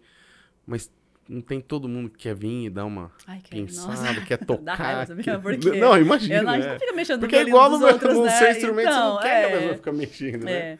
E deve Então, isso ter, já né? aconteceu Porque as muito pessoas. também, que nem é. tímpano, né? A pessoa quer. É. E evento, assim, também, né? Orquestra faz, mas assim, É, faz. A orquestra faz também. Porque adulto, às vezes, é pior que criança. É, eu falo assim, ah, eu vou tocar mesmo, porque é minha amiga, sabe, Pen, toca lá, sabe? Aí você fica assim, nossa, mas né, então. Mas, é, Sempre tem. evento, por exemplo, né? A gente faz evento, a gente faz muito evento também em- dentro da casa das pessoas, Uhum. né? Assim, umas casas Entendi. mesmo, assim, luxuosas Aham. mesmo, assim, que entra, a criança tá com, com a babá, assim, sabe? Aí a criança realmente, a criança assim, quer ir lá mexer. a criança quer ir mexer e, e a gente tem que tomar todo um cuidado também, porque está dentro da casa do cliente ali, né? Você está oferecendo um trabalho já para o tem cliente. que ter um já contrato fechou. já falando, né? É, então, eu não vou colocar contrato de que uma criança não mexa no meu, no meu Não, não, ó, se É quebrar, se acontecer também, alguma é. coisa aí, você. Mas a gente fica, não, não pode mexer, sabe? Essa criança, ah, eu quero, eu quero, sabe? aquela, Né? Então, assim, então, tem criança, já já teve um evento, assim, que veio um senhor, enquanto eu tava tocando, gente, eu fiquei abismada, naquela hora eu tive vontade de parar de tocar, sabe? Assim, me subiu, assim. Tocando. Eu tava tocando. Ele- A pessoa veio e mexeu na harpa, sabe? Assim. Aí eu falo, gente, mas que mundo é esse, sabe? Realmente, assim, então já passei umas coisas. né, Tem que pôr um cone assim.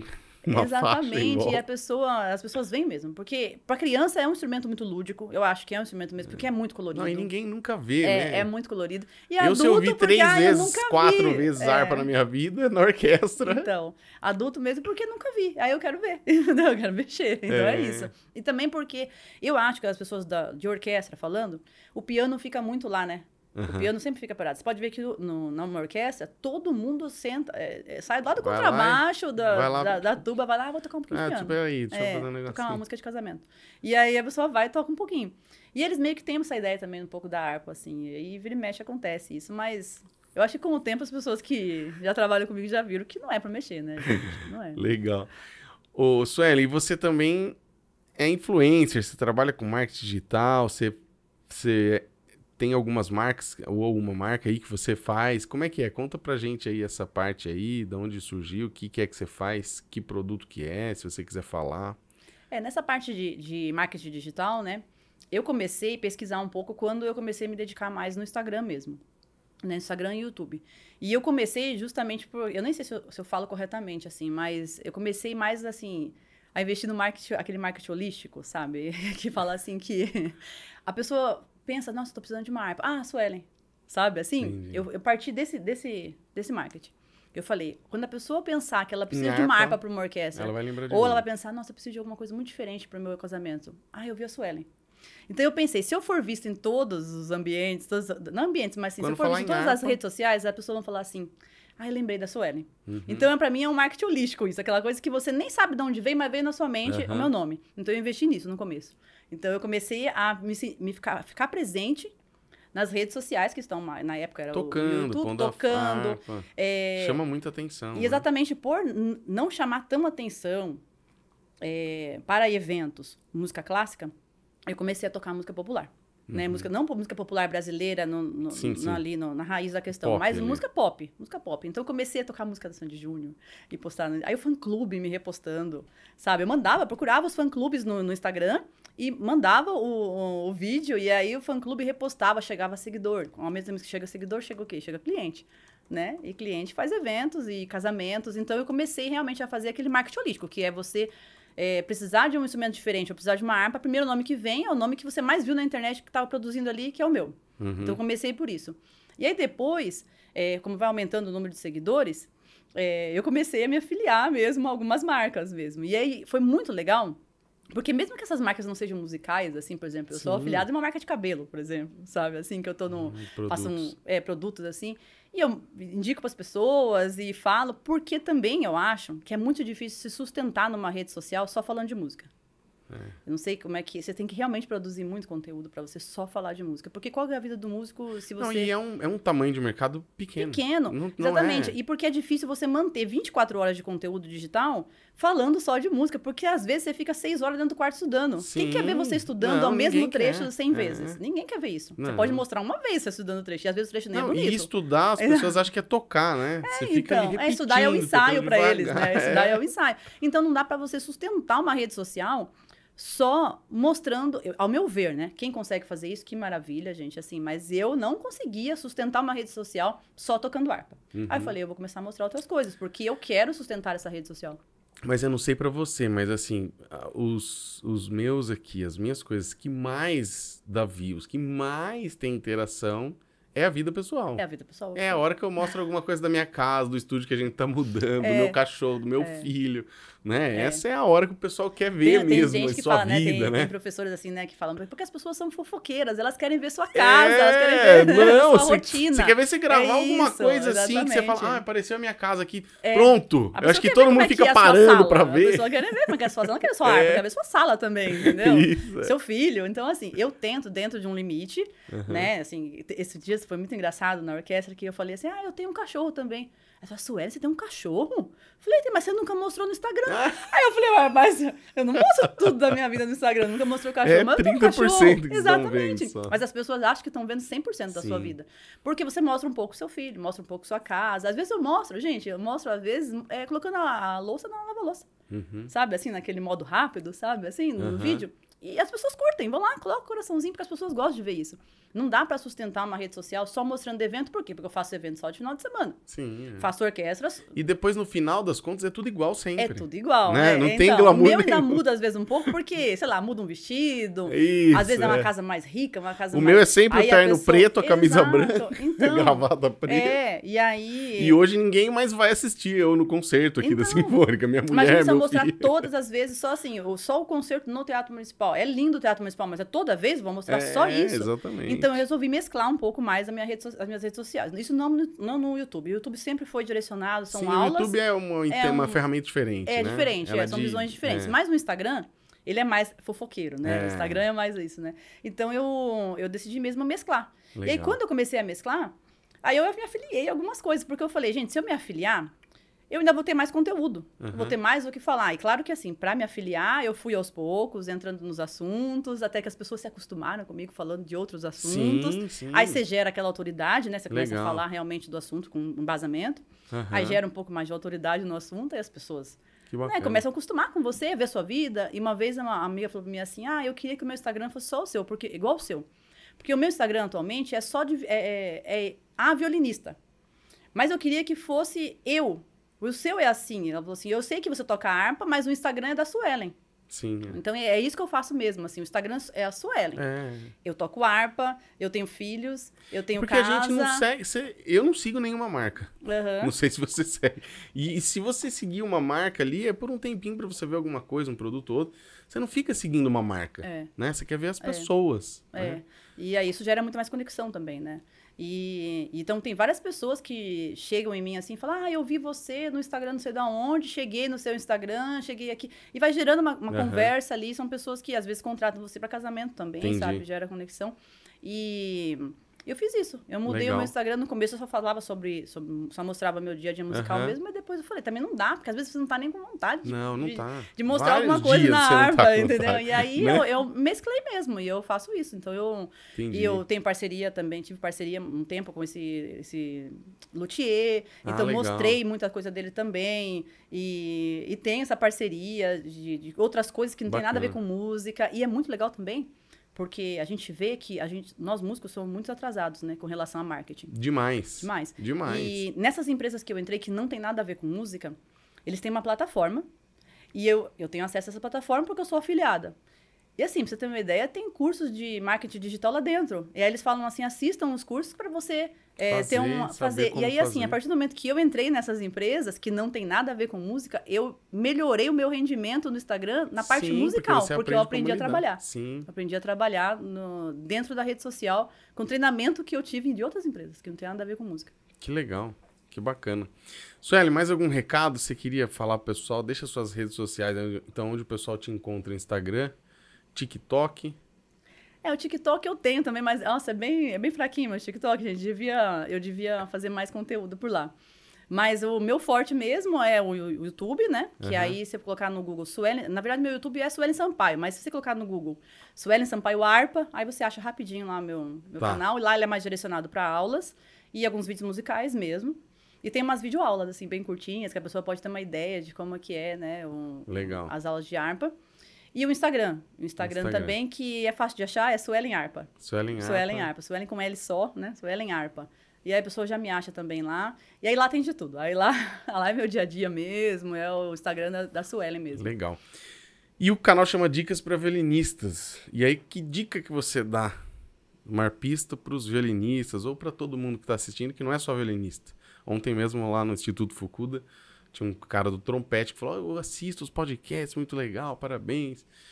Deixa uma dica aí, pessoal, sobre profissão, carreira, ou o que você quiser. O que você acha aí que você pode deixar uma mensagem aí? É, eu, eu deixaria assim, de mensagem mesmo, para a pessoa não, não ir com uma expectativa muito alta, assim, às vezes no início, né? De verdade mesmo, a pessoa, que nem eu falei, às vezes a pessoa vê um, um determinado músico, também nem sabe quanto a pessoa demorou para chegar naquele instrumento, né? Quando eu falei da harpa sinfônica, então, de repente, pode existir possibilidades mais acessíveis para você começar num, num instrumento que é caro aqui no Brasil, né? Então, todas as pessoas que me procuram mesmo, eu falo, começa com uma harpa celta, procura um luthier brasileiro, compra seu instrumento aqui, dá o primeiro passo, começa, né? Não com uma expectativa muito alta. Começa por, ali por baixo para você ter Vai a base sentindo, né? para é, e eu acho que isso tudo para tudo, né? Assim, na vida também, né? Mas não em questões de instrumento e sentindo primeiro, né, o que o que você quer mesmo com relação ao instrumento. E no caso da harpa é isso mesmo, assim. Tem, tem pessoas que me procuram para tocar somente hino na harpa. Uhum. E a pessoa chega e fala assim: ah, eu quero uma harpa sinfônica para tocar hino. Gente, dá para tocar hino infinitamente numa harpa celta. Então, compra uma harpa celta. E pelo menos você realiza seu sonho. É. Vai ter você uma fica naquela desculpa: ah, eu só não faço porque custa 100 mil reais. Exatamente. E claro, 100 mil reais é. Né, claro. Gente, meu Deus. Mas tem a outra opção. Mas tem a Começa outra opção. Exatamente. E aí, mas as pessoas também não sabem. Muitas pessoas não, não sabe. sabem. Eu né? não sabia que tinha tem essa. o limitador também da idade. Muitas pessoas chegam e falam para mim assim: ah, mas eu tenho já 40 anos. Eu posso começar a aprender harpa? Claro que pode. Pode começar Depende a aprender também do seu objetivo, né? Exatamente. Né? E, é claro, profissionalmente falando, é mais complicado. É mais complicado. Né? Tem gente que escreve para mim, Ricardo. Orquestral, assim, eu consigo realmente. passar na USESP, eu tenho 27 anos. Eu falo, é. cara, como que eu vou falar que não? Eu não posso falar para você que não. Mas nem que sim. Mas a chance é, é muito. Não, sim, a chance né? agora, eu posso te dizer que é muito menor. Uhum. Porque tem gente lá com 19, 20 que tá Uhum. estudando desde os três. Exatamente. Mas, por exemplo, às vezes a pessoa chega com uma expectativa que ela pode realizar de uma, de uma outra forma, né? Sim, De uma forma mais viável. caminhos, então, né? acho que falando mais de harpa mesmo, assim, né? Para as pessoas que realmente têm vontade de tocar harpa, é, pensar mais, né? Já que eu aproveitei aqui para falar das diferenças dos instrumentos e pensar mais que existe uma possibilidade de ter uma harpa aqui no Brasil e realizar o sonho de tocar hinos em casa, né? Sim. Porque é lindo, realmente, né? A gente remete àquela ideia bíblica, né? De Davi tocando harpa. Então, né? Tocar os hinos em casa é a coisa mais linda mesmo. Então, procura uma harpa celta, sabe? Faz Compra o curso aulas, da Suelen Compra e começa. curso. e aí começa. Ou faz aula entra Porque senão você vai falar, ah, aula mas eu moro aqui no Pará e não tem. Não. Exatamente, Online você dá faz pra fazer online. Exatamente. E aí e começa a tocar.